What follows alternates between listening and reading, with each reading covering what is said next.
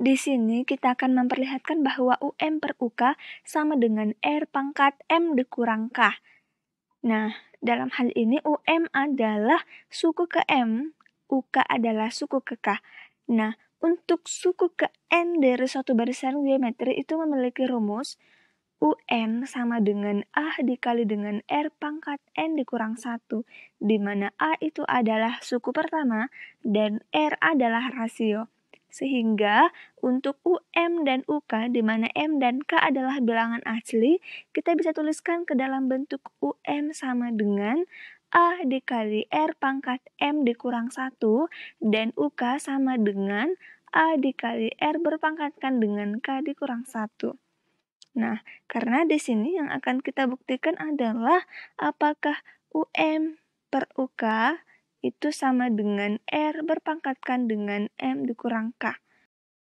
Berarti kita bisa ganti untuk UM dan UK-nya itu menjadi untuk UM A dikali R pangkat M dikurang 1 dibagi dengan UK A dikali R pangkat K dikurang 1 sama dengan R pangkat M dikurang K.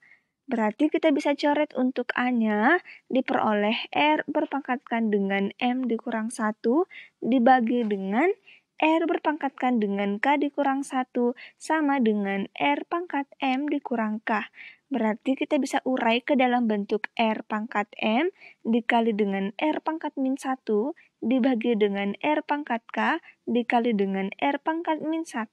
Sehingga untuk R pangkat min 1-nya itu habis jadi ini sama dengan R pangkat N dikurang K. Nah, dari sini karena untuk R pangkat M dibagi dengan R pangkat K sama dengan R pangkat M dikurang K, untuk ruas yang berada di sebelah kiri, kita bisa naikkan untuk R berpangkatkan dengan K, berarti pangkatnya menjadi negatif berdasarkan sifat dari eksponen. Berarti R pangkat M dikali dengan R pangkat min, min K sama dengan R pangkat M dikurang dengan K.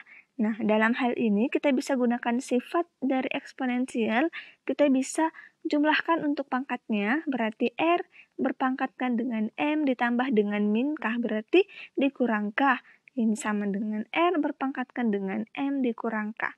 Nah, kita peroleh untuk hasil akhir yang sama, yaitu ruas kiri sama dengan ruas kanan.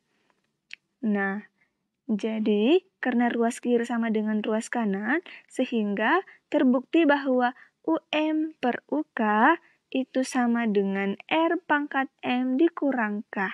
Oke, sampai jumpa pada pembahasan soal berikutnya.